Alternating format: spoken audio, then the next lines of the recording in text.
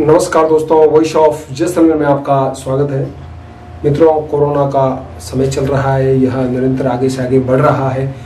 इस दरमियान हम जो मानव है, हमें क्या करना चाहिए? मेरी एक निजी राय है, मैं आपके सामने रखूँगा। शायद हो सकता है आप मेरी राय से इत्तेफाक रखते हो।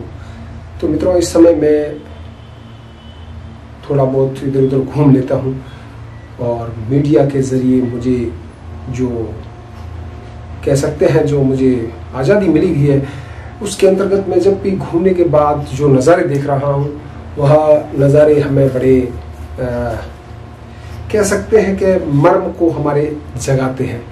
तो उसमें मैंने जो सबसे पहले देखा यहाँ जो हमारे पक्षी हैं कबूतर है चिड़ी है इनकी आ, जो दिनचर्या है, उसमें बदलाव आया है।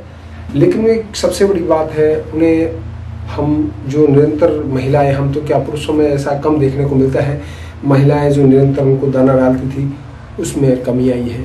तो हम हमारे छत पर, जैसे कि हमें कोरोना का जो समय चल रहा है, इसमें बाहर नहीं जा रहा है तो हम हमारी छत पर कुछ जो भी हमारे पास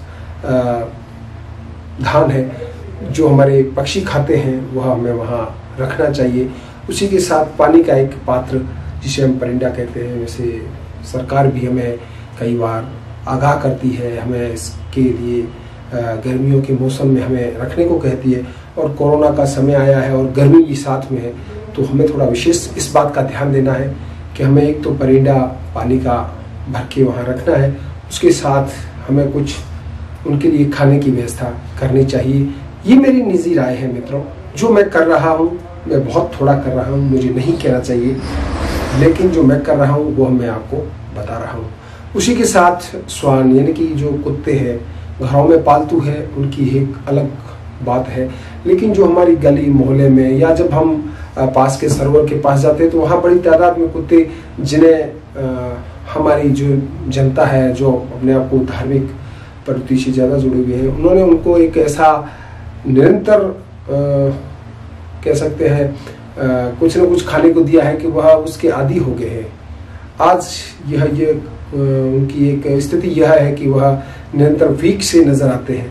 तो अगर हम कहीं जा सकते हैं, जैसे हमारे पशुधन को सुबह के समय चार, और इसी के साथ हम हमारा समय किस तरह व्यतीत करें तो इसके लिए हमारे पास, हमारी छतों पर हम बागवानी लगाए। उसमें पानी डालें, उसका निरंतर ध्यान दें। देखो, कोरोना का समय है, यह निरंतर कभी सात दिन, कभी पंद्रह दिन, इस तरह से हम करीब दो महीने के करीब होने को आए हैं, यह समय बढ़ रहा है। तो ये छोटी छोटी चीज़ें हैं जो मैं कर रहा हूँ। मुझे ऐसा लगा कि शायद हो सकता है मैं जो मेरी बात है, वो आपके सामने रखूँ।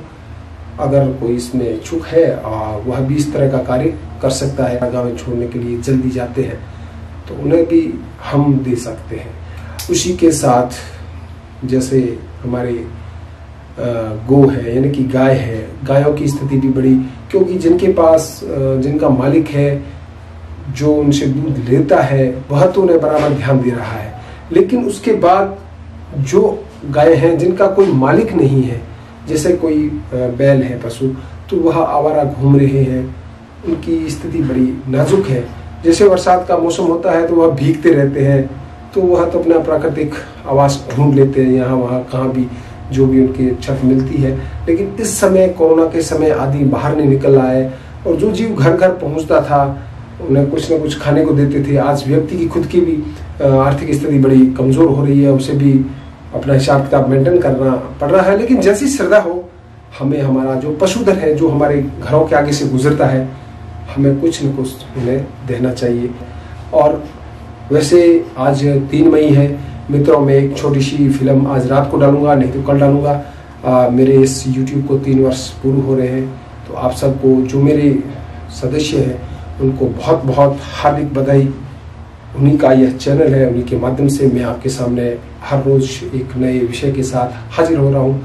तो दोस्तों सलामत रहें सुखी रहें और मुझे सुनते रहें और मुझे अपनी सुझाव देते रहें। तो दोस्तों मुझे दे इजाज़त। जय हिंद। जय भारत।